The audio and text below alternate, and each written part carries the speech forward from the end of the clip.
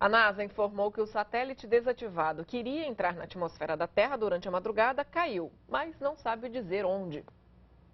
Essa é uma animação de como seria a reentrada do satélite na Terra. Ele se partiria em vários pedaços que se desintegrariam, restando só uma parte maior, que poderia cair em qualquer lugar. E caiu, mas a NASA ainda não sabe dizer onde. Mesmo assim, tem moradores de cidades do oeste do Canadá postando na internet que alguns destroços caíram na região.